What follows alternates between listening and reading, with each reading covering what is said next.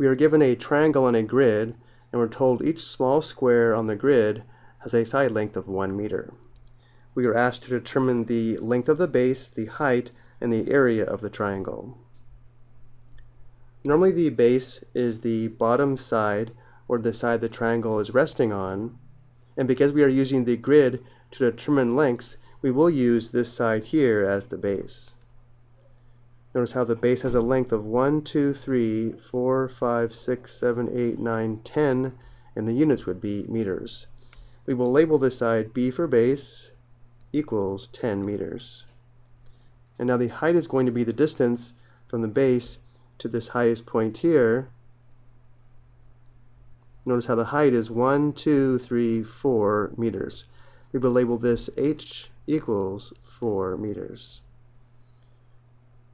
Recording the information below, the length of the base is 10 meters, the height of the triangle is 4 meters, and now we need to determine the area of the triangle, which is the number of square meters that will fit inside the triangle.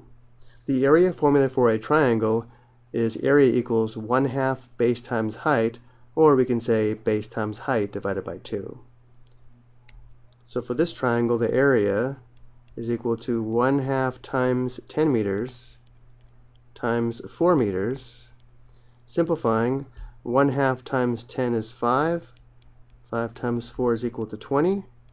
And the units are square meters. Exactly 20 square meters will fit inside this triangle. Before we go though, let's talk about where this area formula comes from.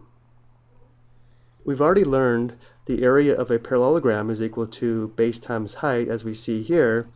And now if we look at the triangle where this side is the base and this is the height, if we make a second copy of this triangle, and let's say we make it red, and then rotate it and place it here, notice how the two triangles form a parallelogram where we know the area of the parallelogram, which is made up of these two triangles, is equal to base times height, which means the area of one of the triangles would have to be 1 half base times height or base times height divided by 2.